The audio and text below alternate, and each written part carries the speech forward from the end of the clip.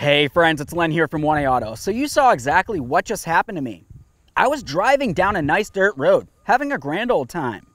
All of a sudden, it felt as though my right rear wheel locked up on me while I was driving. I've experienced this before, and I know exactly what it usually comes down to. Generally, it has to do with either your brake shoes or even your brake hardware in the rear. Either way, I recommend ordering all these parts from 1AAuto.com. With all that said, let's get into it.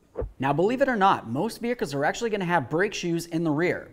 I know, you can look right through the wheels and typically you're going to find that you have disc brakes in the front and in the rear. But if you were to take apart those rear brakes, you're going to find that you have shoes in the rear as well. Now, of course, that's not on every single vehicle, but commonly you are going to find that you have emergency brake shoes located right behind that rear rotor.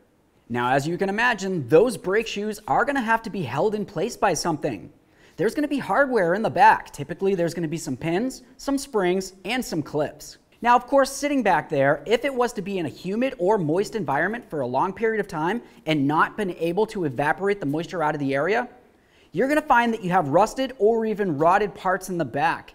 You're not even going to see it. Who even takes apart their rear brakes just because? Now, what are brake shoes even supposed to do?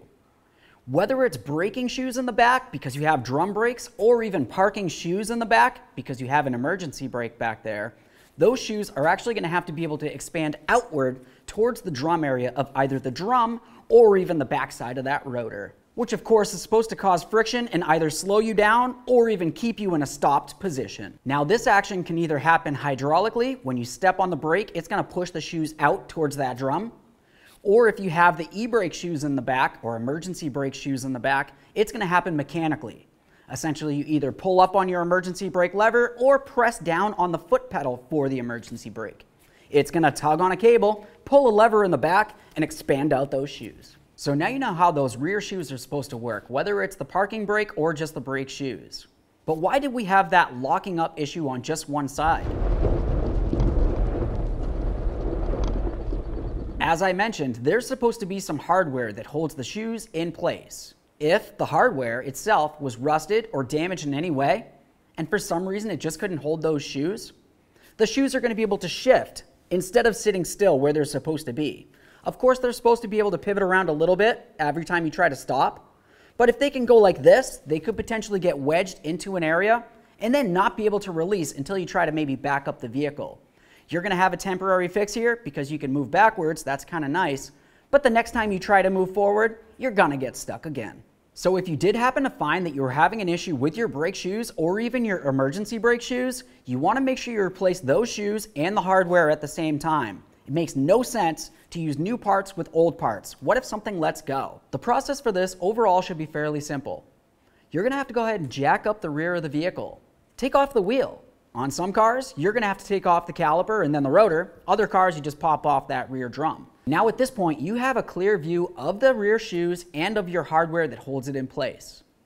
Keep in mind, all this hardware is generally under spring pressure of some sort. So as you're trying to take it apart, it could potentially go shooting across the room or even worse, at you. Of course, once you have the shoes and the hardware out of the vehicle, go ahead and clean up the entire backing plate area. After that, go ahead and install the brand new quality parts you ordered from 1AAuto.com. Now, I hope you liked the video. I hope you found it interesting. If there was something in this video that you found was interesting or you think somebody else might find it interesting, go ahead and share it with them. It would mean everything to me.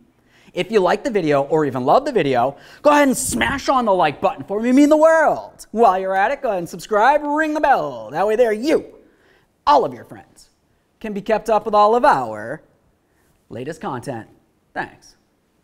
Sometimes it can be a little bit difficult to get the springs off of the hardware. Wow. At this point, get your springs off of the hardware. Either your brake shoes or even the emergent, or even, or even. I totally lost my whole train of thought, Ty. I'm sorry, kid.